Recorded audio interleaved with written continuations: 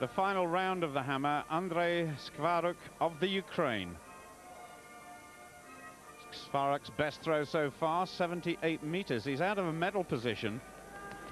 He was very, very fast. And he's gone over 80 meters. So in the last round, he could have produced the throw of his life. All the big names are yet to go, so it remains to be seen whether that would be good enough to take the goal away from Heinz. To go the, the uh, 80-26, and that is certainly well over that. I think you might see him break out into a big smile in a moment. 81-46 in first place. Look at that.